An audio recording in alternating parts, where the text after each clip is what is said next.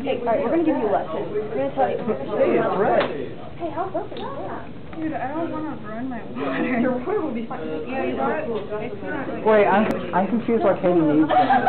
She's dropping in there. What she said a few minutes ago is true. Yeah, but it smells like. By. Second kind. Oh, that's good. Hey, I don't want it to smell when it's... Scarf it up on the You got extra ones we can just.